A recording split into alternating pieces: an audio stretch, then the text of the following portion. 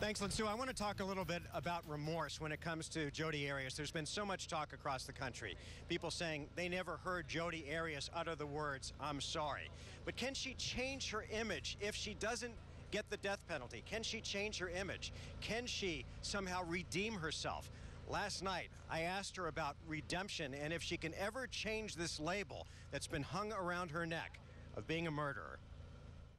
Regardless of what happens with the jury, you're going to have to deal with the fact for the rest of your days, however long that is, that you killed someone.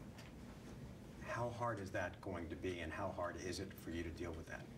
It's very, it makes me feel very ugly inside. And I know that that was just one day, but I feel like even though it shouldn't, it's going to define the rest of my life and maybe beyond. So it's, it's very difficult. It's, it's something that I haven't processed or I haven't really dealt with or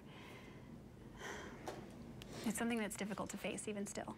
So it's something I'm going to be trying to process probably till my last day.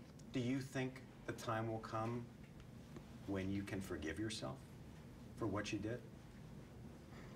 I think I may get there. You've talked about spirituality a lot um, and you've said you've prayed for the jury. Are you a religious person? I'm not deeply religious at this point. I still consider myself spiritual. Do you believe in heaven and hell? Yes. And if you do believe in heaven and hell, where do you think you're going? And, and can you deal with, if you think you're going to hell, can you deal with that? Or do you not think you would be going there? I don't know if I believe in hell in the traditional sense that a lot of people do. Um, I do believe that I believe in forgiveness, and I believe in mercy, and I believe in second chances. Um, I do believe that going to heaven or the opposite of what hell would be is something that needs to be earned. Um, Can you then, in your final days on this earth, earn that, do you think? Do you believe in, in redemption? Well, when I say earned, I should probably clarify. I think that grace comes in. And um, it's, there's no way that I could possibly make up entirely for what I've done. So I can, all I can do is do what I can. And the idea is that grace fulfills the rest, makes up for the rest. Do you think when we're talking about forgiveness that Travis's family will ever forgive you? Um, it's hard to imagine that they would. I hope that they're able to someday. Um, I don't know what their religious beliefs are,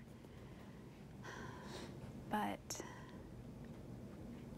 I know that Christian-based faiths and the Mormon faith, which Travis was Mormon, I'm baptized Mormon, they, um, it's required that we forgive in order to be forgiven.